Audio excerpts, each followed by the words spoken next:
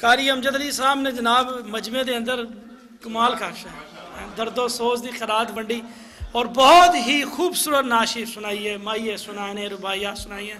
अल्लाह करीम इन्हों की आवाज़ बरकत अता इन्हों के इल्म फजल बरकत अता हाफिज़ मजरुद्दीन साहब रहमत ताला बहुत बड़े आलिम थे, हिजबुल अनाफ हमारा मदरसा है, उसके फाजिल थे। आपने एक बड़ी खूबसूरत नाशिब लिखी, आप माते हैं कि हम सुए हशर चलेंगे शह अबरार के साथ। जी, हुजूर नबी पाक सल्लल्लाहु अलैहि वसल्लम, क़यामत के दिन टोटल जो उम्मतें हैं नबियों की, उनकी 120 सफ़े होंगी।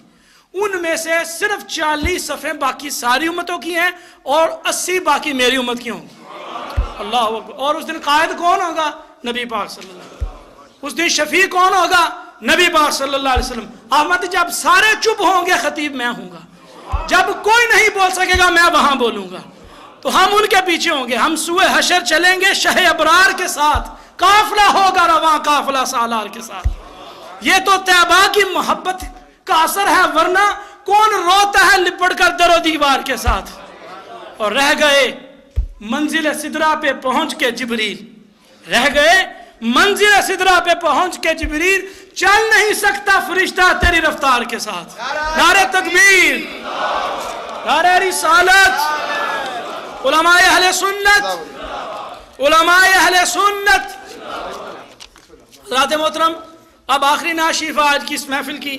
हमारे पास बहुत खूबसूरत आवाज़ के मालिक, बड़े नफीस इंसान, आलिम दीन, कारी कुरान और नात खान हज़रत अल्लामा कारी मोहम्मद जहीर साहब तशीफ़ फरमा हैं वो मिनहाजुल कुरान, वेलबी में, इस वक्त इमाम भी हैं, ख़तीब भी हैं मुदरस भी हैं, उस्ताद भी हैं। और ये अल्लाह ताला का बड़ा करम हुआ अहले डनमार्क पर कारी नूर अली साहब तशीफ ले आए, हज़रत सराज साहब, आज मुझे मिस कर रहे हैं। वो भी हमारी महफिल में होते तो बड़ा मज़ा आता।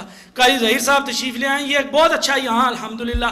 सिलसिला बन गया है। बड़े अच्छे उलमा, बड़े अच्छे कारी, बड़े अच्छे नात खान यहाँ तशीफ फरमा है। अल्लाह करीम इनके वजूद मसूद से हमारी नई नस्ल को बरकत और इलम की रोशनी अता फरमाए। तो कारी जहीर साहब की खिदमत में मैं गुजारिश करूँगा कि वह तशीफ लाएँ और बारगाह सरवर कौन सल्ला तसम में हदिया नात पेश करें।